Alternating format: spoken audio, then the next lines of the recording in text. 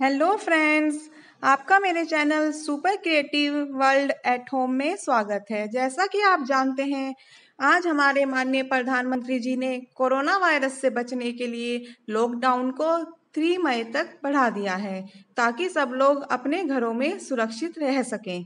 पर अब सबसे बड़ा क्वेश्चन ये आता है कि हम इस लॉकडाउन में घर में करें तो क्या करें? तो आज मैं आपको यहाँ ऐसे छह बातें बताऊँगी जिनको फॉलो करने से आप अपने टाइम को काफ़ी अच्छी तरह सदुपयोग कर सकते हैं। क्योंकि ऐसा टाइम हमें पहली बार मिला है जब हम सब अपने घरों में हैं और इस टाइम हमें सिर्फ़ सोने में या टीवी देखने में वेस्ट नहीं करना चाहिए। इसका हमें सदुपयोग करना चाहिए। आइए बताते हैं।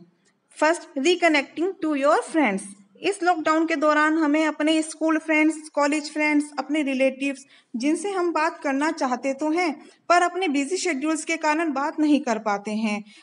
ऐसे हमें अपने मित्रों से फ़ोन से वीडियो से और चैटिंग के माध्यम से कनेक्ट होना चाहिए। इससे हमारी सोशल कनेक्टिविटी बढ़ेगी। हमें अपने घरों में भी, अपने पेरेंट्स से, अपने ग्रैंड पेरेंट्स से, अपने बच्चों से बातें करनी चाहिए और सबसे कनेक्ट रहना चाहिए, जो हम पहले बिज़ी शेड्यूल के कारण नहीं कर पाते हैं। सेकंड डू एक्सरसाइज इस समय हमें खुद को फिट रखना चाहिए, जिससे हम स्ट्रॉन्ग बन सके। इस समय हमारा स्ट्रॉन्ग रहना बहुत आवश्यक है। हमें अपने घर पर exercise yoga pushups pranayama meditation जो भी आपको आता हो, ज़रूर करना चाहिए। और आप, अगर आपको नहीं भी आता है तो आप अपने इंटरनेट माध्यम से नई चीज़ें सीख सकते हैं और उनको कर सकते हैं। क्योंकि इस, इनको करने से हमारी इम्यूनिटी स्ट्रांग होती है। प्राणायाम करने से भी हमारी इम्यूनिटी बहुत स्ट्रांग होती है।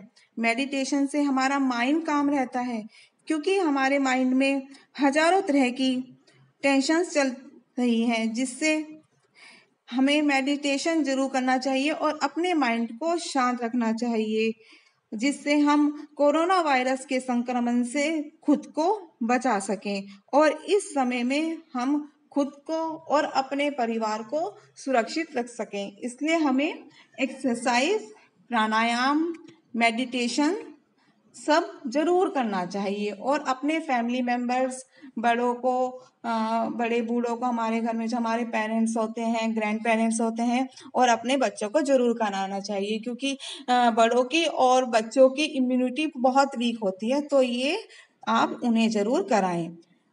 Third thing do your passion आपका जो भी पैशन था, जिसको आप टाइम की कमी के कारण नहीं कर सके, अब आपको वह ज़रूर करना चाहिए। जैसे अगर आपको इंग्लिश स्पीकिंग सीखना था तो आप वह सीख सकते हैं। आपको पेंटिंग करना था तो आप पेंटिंग कर सकते हैं और अपने बच्चों को सिखा सकते हैं।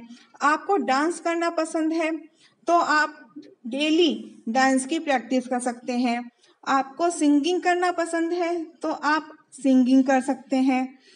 या आपका जो भी पैशन हो, आप उसे ज़रूर कर सकते हैं। अगर आपके पास कोई म्यूजिकल इंस्ट्रूमेंट्स हो, जिनको आपको सीखना था, पर आप पहले सीख नहीं पाए तो अब आप इंटरनेट के माध्यम से भी उनको सीख सकते हैं। जैसे guitar harmonium flute tabla etcetera etcetera अगर आपको एक्टिंग करना सीखना था तो आप घर में रहकर एक्टिंग करना की प्रैक्टिस भी कर सकते हैं।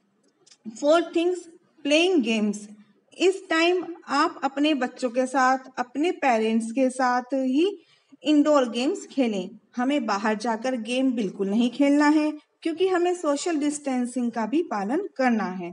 आप घर पर ही ludo chess carrom cards table tennis और बहुत सारे इंडोर गेम्स खेल सकते हैं। और अपने बच्चे को को भी नए गेम सिखा सकते हैं और अपना टाइम को अपने बच्चों के साथ, अच्छे से फन के साथ व्यतीत कर सकते हैं। फिफ्थ डेवलप योर स्किल इस समय हमें अपने स्किल को भी डेवलप करना चाहिए। आप जिस किसी भी क्षेत्र में कार्यरत हों, चाहे आप उसमें स्ट्रोंग हो या थोड़े कमज़ोर हैं, आपको अपने स्किल को और डेवलप करना चाहिए। या आप चाहें तो आप अपने अंदर नए स्किल भी डेवलप कर सकते हैं, जो फ्यूचर में आपके काम आए। जिससे जब लॉकडाउन खुलने के बाद आप अपने ऑफ़िस या जिस किसी भी कार्य क्षेत्र में कार्यरत हों, उसमें जाएँ तो आप खुद को ज़्यादा प्राउड फील कर सकें।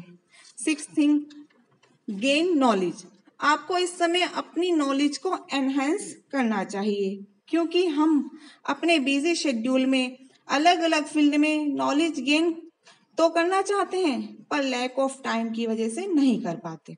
आपको पॉलिटिक्स में एनवायरनमेंट में साइंस में हिस्ट्री में स्पिरिचुअल में, जिसमें भी आपका इंटरेस्ट हो, जिस किसी भी फ़ील्ड में आप को लगता है कि मुझे इस फ़ील्ड की नॉलेज होनी चाहिए, आप उसमें नॉलेज ज़रूर गेन करें और अपने बच्चों को भी हिस्ट्री स्पिरिचुअल चाहे आप किसी भी रिलीजन से हो नॉलेज ज़रूर दें। उन्हें अपने स्पिरिचुअल के बारे में, अपनी हिस्ट्री के बारे में ज़रूर बताएँ।